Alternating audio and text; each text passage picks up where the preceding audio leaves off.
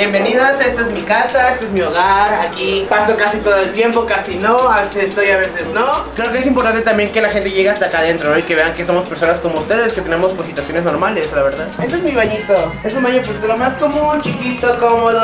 Mi nombre pues es, eh, mi nombre real, o así de, de naciencia, dijera, es Brando Fernández Malpica, ¿no? Sí, violencia, sí vivió discriminación. Y realmente creo que ser trans va más allá de un implante, más allá de maquillaje, pelo largo, más allá de todo eso. Eso es como algo estético. Ser trans es como tú te identificas, quién eres, tu esencia, tu, tu feminidad, ¿sabes? Como eso que con lo que naces. ¿Cómo fue tu proceso en que tú fuiste a, te transicionaste? Porque no en todos los casos tienes a alguien quien te oriente que mira, es por aquí para que tú Exacto. de hormonas, de esto. ¿Cómo fue ese proceso? Y además de que cómo fue ese proceso, ¿cómo lo viviste con tu familia? Con mi familia fue difícil, ¿no? Porque ellos no sabían todo, ni siquiera yo sabía el tema trans, ¿no? Entonces era como eso de lidiar con la homosexualidad. Un tema que era muy satanizado, muy mal visto y mi familia mucho tiempo lo vio mal porque incluso cuando supieron que yo era así, que pasé de hombre exótico, ya no iban a verme a las luchas, ya había temas en casa de no uses esto, no vistes así, no te sientes así, no te comportes así, que no te venga a ver tal porque pues la gente lo va a ver y era como muy difícil. Ah, creo que algo que ayudó como a, a mejorar las cosas fue el hecho de que yo me informara, porque si yo no los educaba a ellos, no les ayudaba a tener esa información que ni yo tenía, pues nunca la iban a tener, entonces fue muy complicado. Igual en la lucha libre, lidiar con toda la banda y explicarles como, oye, sabes que no soy una mujer trans, o sea, es un tema. Incluso no vamos lejos, ¿qué pasó apenas? Y eso lo digo como yo muy personalmente. La vez que fuimos a la entrevista de la hielera y esto, eh, Fresero, es una persona que aprecio mucho y que tiene la apertura a entender, creo yo, pero aún así él tiene sus ideales como notabas, ¿no? Que de cierta forma decía como él, o cosas así que yo decía, es, es lo que diario voy a lidiar en la lucha libre, entonces tampoco tengo la energía para pasarte que, oye, no, no me digas esto y cada cinco minutos estarte corrigiendo. Sí, claro. No, entonces siento que también de cierta forma la lucha libre me hizo de un carácter duro, entre comillas, para como poder sobrellevar todo esto. Si no, la verdad es que a lo mejor yo hubiera perdido la cabeza y quién sabe qué locura hubiera hecho. Me considero una persona fuerte, me considero una persona luchona, me considero una persona con cierta conciencia que entiende lo que ya está pasando y desde ahí trata de hacer un cambio. Si yo soy, como siempre he dicho en otras entrevistas, en la lucha libre, no es porque yo diga, uy, quiero ser la máxima campeona y quiero fama y viajar. Claro que la quiero porque todos queremos un privilegio, ¿no? Pero mi meta aquí es eh, que más banda trans se acerque a este deporte y ya no pasen las vi- violencias o las vivencias que yo pasé. Esa es como mi, mi meta más fuerte. Y para lograr esto, tengo que informarme mucho. eh, informarme, ir a prácticas, ir a clínicas para yo tener como bien consciente el tema trans y no ir como implantando un mensaje desde una vivencia como agresiva, ¿no? Como una vivencia de es que si eres trans tienes que ser así porque, o sea, no. Sino comprender que hay una variedad de vivencias y todas son válidas. Este lo usé en la copa. ¿Cómo se llamaba la copa que fuimos de Shani? La de Ajá, ah, pues la función del villano cuarto, un homenaje. Usé este equipo. Nada más lo he usado en esa función, no lo he vuelto a usar, la verdad. Está casi nuevo, está muy bonito. Es color plata. Lo hice justamente porque me habían mandado hacer unas, unas botas color plata. Entonces dije, ay, pues perfecto. Este está muy bonito, me gusta mucho. Este lo hice en una función para una función de Monterrey de Robles Promotion. Que somos actualmente las campeonas de tercias con Larry Miranda y con Pipinela Escarlata, las ACRG. Entonces hicimos como que los mismos colores. Está muy bonito también. Este fue de los primeros trajes que yo me hice cuando yo me empecé a reconocer en la lucha libre como una mujer transexual. Entonces yo estaba muy orgullosa de esto y quería empezar a mostrarlo con la bandera trans, como pues con los colores. Entonces empecé a usar los colores de la bandera trans en mis trajes de lucha porque pues ya quería empezar a dar este giro, ¿no? De, justamente siento que esto es como todo de exóticos, como de capas y peluches y plumas. Y yo ya quería como mostrar algo más como yo soy, como más sensualón, más cachondón, más destapado. Y pues de ahí nace como este primer equipo con los colores de la bandera trans. Que yo al menos fue el primero que tuve con esos colores. Este equipo ya está.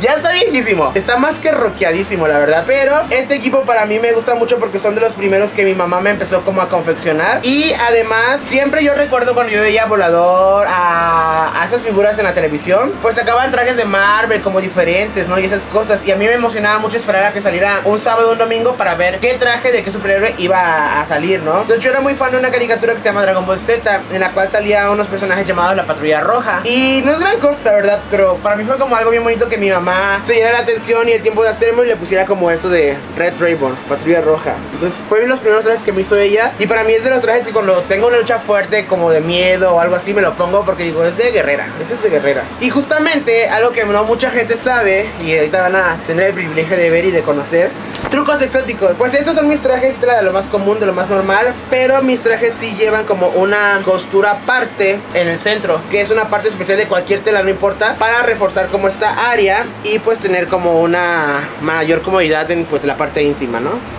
¿Qué sientes al que tú eres la primera luchadora transgénero en México y has dejado y estás dejando huella en la lucha libre mexicana? Pues mira, de inicio a mí siempre me ha dejado a gustar aclarar las cosas que yo soy la segunda mujer transgénero. La primera mujer transgénero en la historia de lucha libre mexicana es Miss Gaviota, pero la diferencia es que somos de generaciones distintas. Miss Gaviota viene una generación en la cual vivió muchas violencias, mucha supresión, muchas pues cosas muy feas, la verdad. Entonces a lo mejor eso le creo como cerrarse, ¿no? Y como que nunca le interesó en su momento, pienso yo, hacer el mensaje crecer, ¿no? Como que defender su propia causa y es válido. Tampoco tiene que ser como la Biblia atrás de, de alguien, ¿no? Y es lo que a lo mejor a mí me ayudó como a catapultar, ¿no? Que yo nunca fui nada más como, ay, yo, yo, yo, sino que yo dije, no, esto no es para mí, es para todas, ¿sabes? Es como, yo me hice como esta portadora de la voz que a mí me hubiera gustado a los 15, 16 años haber escuchado, ¿sabes? Entonces es lo que yo ahorita quiero, ser esta portadora. Y llevar esta bandera de la primer mujer trans o esto es, es fuerte porque quien lo haga va a ser la mal vista, va a ser la que digan, ay, el loco se siente más que las mujeres o las violencias y te van a, llover. Entonces son temas complicados y siempre creo que merecen respeto. Por eso para mí es importante reconocer el, trabajo que ha hecho Gaviota. Y lo que te comentaba, yo no quisiera caer en lo mismo porque Miss Gaviota es una persona que le hice como otras generaciones nuevas. Es que si no tiene inspector, si, tiene, eh, si no tiene implantes,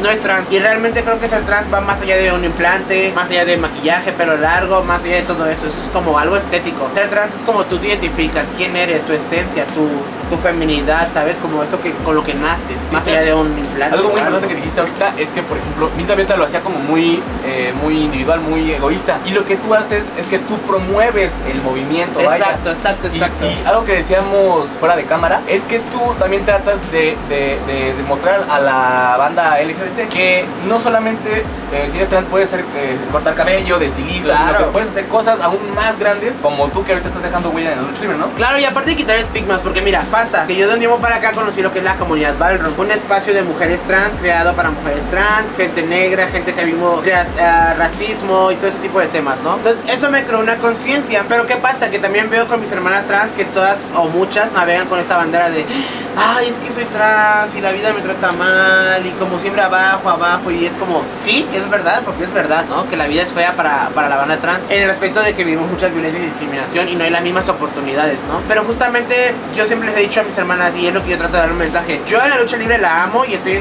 cómoda en un deporte y en el trabajo que amo, sí, pero yo no tengo privilegios aquí porque al final de cuentas yo soy un deporte en el cual se me vende como un homosexual, no se me vende como una mujer y no voy a decir por eso, ay, no, yo no voy a luchar y es injusto y me voy a quedar sin trabajar, pues no. Entonces es lo que yo trato de brindarle a la banda, el mensaje de que la resistencia trans para mí es eso, ¿no? Como resistir a esas adversidades, de que yo digo, yo que más quisiera estar en el rostro femenil, llegar a una arena y que me digan, pásale señorita, esta vestido de mujeres, ¿sabes? Como todo ese tipo de cosas, pero soy consciente de que México es duro y que va a pasar, pero en 10, 15 años o quién sabe cuánto, ¿no? Entonces, ¿qué pasa? Que muchas trans por, eh, muchas trans por esto ya no, no, no acceden a quebrarse un poco para pues tener un ingreso o más cosas y es donde acabamos pues en el servicio o demás cosas. Entonces, tampoco soy culpable ni nada, ¿no? Sino que son cosas que pasan y es la realidad. Siento que algo que les quería como mostrar también muy fuerte para mucha gente y algo muy importante para mí que no puedo dejar pasar es mi altar. Mi altar es como algo de lo que yo soy muy orgullosa, me gusta mucho. Es como algo bien importante en mi vida. Yo despierto, esa es mi cama, despierto, siempre me paro, le doy gracias, le pido que me dé energías para afrontar mi día a día. Le cambio su agua, le pongo sus tequilas